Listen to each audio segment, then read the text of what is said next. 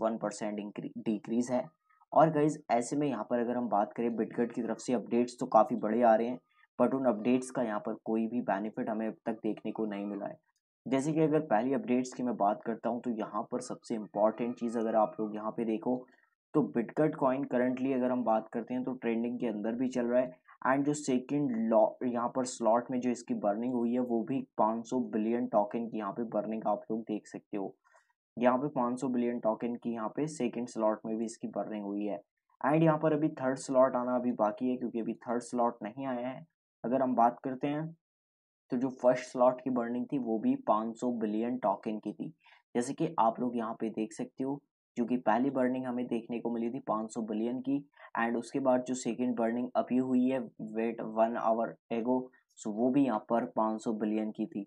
लेकिन गाइज़ ऐसे में यहाँ पर अगर हम बात करते हैं तो कितनी भी बर्निंग हो रही है बट कोई इम्पैक्ट बिटकट पे नहीं देखने को मिल रहा है। सो उसका मेनली रीज़न यहाँ पर यही है कि बिटकट कॉइन ही नहीं, बल्कि ओवरऑल जो मार्केट है, वो भी यहाँ पर डाउनफॉल में देखने को मिल रही है। दैट वाज एक और रीज़न यहाँ पे निकल के आ रहा है कि बिटकट कॉइन से जो बहुत सारे लोग हैं, अब वो यहाँ पे पैसा अपना निकाल रहे हैं। जैसे कि आप लोग देख सकते हो बिटकट कॉइन में अब सिर्फ़ जो मार्केट कैप बचा हुआ है वो सिर्फ़ आप लोग देख सकते हो 98 मिलियन डॉलर या फिर 99 मिलियन डॉलर का बचा है। वेल, एक चीज़ यहाँ पर बहुत ज़्यादा इंपॉर्टेंट रहेगी कि बिटकट कॉइन अगर यहाँ पर अच्छा परफॉर्मेंस नहीं करता तो बिटकट कॉइन कुछ दिनों के अंदर शायद कि हमें डैड होता हुआ नज़र आ सकता है। एंड गाइस, मार्केट में ऐसे ऑलरेडी बहुत सारे कॉइन है जो डैड हुए हैं और अगर ये मार्केट में सस्टेन नहीं कर पाया तो कहीं ना कहीं हम देखेंगे कि बिटकट कॉइन बहुत जल्दी मार्केट से गायब हो सकता है।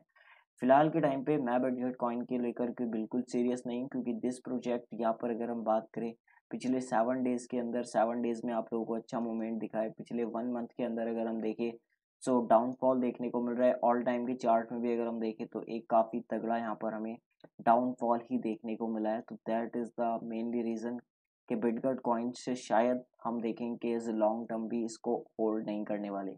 वीडियो पसंद आई लाइक ज़रूर कर देना। बाकी आप लोगों के लिए सिर्फ़ यही अपडेट थी कि कोई ख़ास इंपॉर्टेंट बहुत सारे यूट्यूबर हैं जो बहुत ज़्यादा इसको पंप कराने की सोच रहे हैं बट आई थिंक मुझे नहीं लगता कि ये कॉइन अब कुछ रहेगा इसका आगे फ्यूचर में।